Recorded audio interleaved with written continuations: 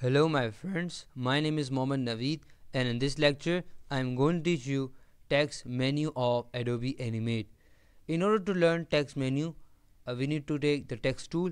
I have taken the text tool and I have written Naveed.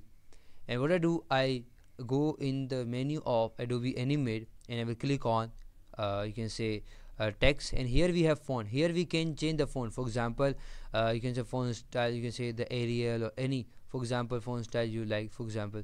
So here we have a large number of uh, font styles we have so you can select any you can select uh, any font style you like. Then we have the size you can change the size. As you can see that I am able to change the size.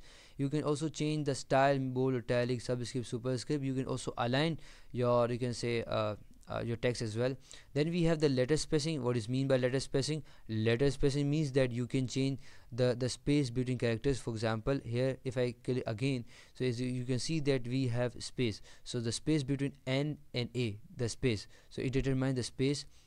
And then we have is called font embedding. What is mean of font embedding? For example if you want to create your own uh, you can have font. So here you can for example here you can type Naveed and uh, naveed and uh, then uh, you can say check you, it's totally up to you whether you check or not. And you can here you can give the name to your own phone.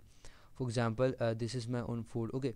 So okay. And then if you want to find you can find it here. Okay. For example if you want to find you can find your uh, you can say uh, writing uh, style here. So this was a lecture on text to text menu of Adobe Animate I hope you have understood for more videos, lecture and exercises, come to my website www.naveedplace.com. Allah Hafiz Amanla inshallah. I will meet you in next lecture. Till then, Allah Hafiz.